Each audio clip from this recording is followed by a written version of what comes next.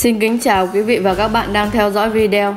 Trong video ngày hôm nay, chúng tôi xin chia sẻ đến quý thính giả về cây lược vàng và cách chữa viêm họng với những lưu ý khi mà chữa bệnh. Việc dùng kháng sinh chữa viêm họng chỉ khi thật sự cần thiết, nếu dùng sai có thể chịu tác dụng phụ khó lường. Thay vào đó, vì sao bạn không dùng cây lược vàng để chữa viêm họng, được dân gian lưu truyền từ lâu đời? Những gì mà nó mang lại chắc chắn là vượt xa cái mức mà chúng ta mong đợi. Thứ nhất, lợi ích của việc dùng cây lược vàng và chữa viêm họng mà ít người biết đến.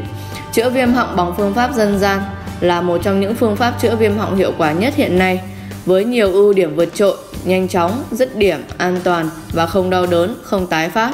Một số cách nổi bật bằng dân gian như là dùng cam, chanh và nhất là cây lược vàng. Theo nhiều nguồn tài liệu trên internet, người dùng sau khi sử dụng cây lược vàng để chữa viêm họng đã mang lại kết quả bất ngờ nhiều người đã thoát khỏi căn bệnh này, thậm chí khi nó đang ở giai đoạn mãn tính. Dưới đây là cách dùng cây lược vàng để chữa viêm họng. Cách thứ nhất, đem 50g lá lược vàng rửa sạch rồi cho vào cối giã nát. Vắt lấy nước cốt hòa với 5 giọt giấm chuối rồi uống mỗi ngày. Uống trong 5 ngày thì ngưng 5 ngày rồi lại uống tiếp. Trong một tháng sẽ khỏi ho do viêm họng, viêm phế quản và nhiều căn bệnh dạ dày, gan, thận, sỏi mật, cả phong hàn rất là hiệu quả. Cách thứ hai, Chọn vài lá lược vàng tươi, đem rửa sạch rồi cho vài hạt muối vào lá, gói lại như miếng trầu, nhai và ngậm bã. Nuốt nước lá lược vàng mỗi ngày 2 đến 3 lần, mỗi lần 2 đến 3 lá. Khoảng một tháng sẽ thấy giảm các triệu chứng viêm họng như là ho rát, đau họng. Nếu dùng thường xuyên có thể chữa được cả bệnh viêm họng mãn tính. Thứ hai là chữa ho khan bằng lá lược vàng. Trẻ nhỏ trong nhà hay bị ho khan vào mùa đông, trời lạnh thì có thể dùng lá lược vàng vò nát rồi nhai nhỏ, nuốt nước bỏ bã. Mỗi ngày nhai 3 lần trước khi ăn, khoảng 3 đến 4 ngày là hết hẳn ho khan. Người lớn cũng có thể áp dụng cách này, cũng có thể chữa ho hiệu quả và tương tự. Bạn có thể kiểm soát tốt bệnh viêm họng của mình và không cần điều trị nếu tuân thủ vài điều lưu ý sau đây. Thứ nhất, xúc miệng bằng nước muối ấm. Uống nhiều nước ấm, tránh uống nước lạnh có đá. Ngừng uống bia rượu hoặc các chất có cồn, không hút thuốc lá, tránh xa các môi trường ô nhiễm hoặc có khói thuốc, rửa tay thường xuyên trước khi ăn và sau khi tiếp xúc với bệnh nhân viêm họng.